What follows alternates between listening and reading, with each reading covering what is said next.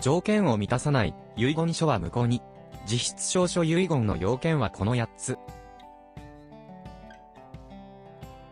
この動画、記事はこんな方におすすめ、遺言書の作成を検討している方、個人の実質証書遺言を発見した方。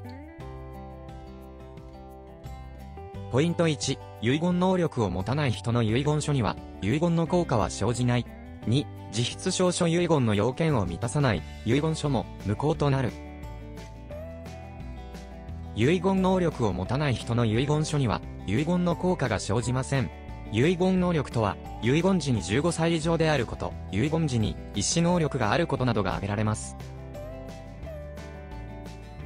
要件を満たしていない遺言書は無効となってしまいます。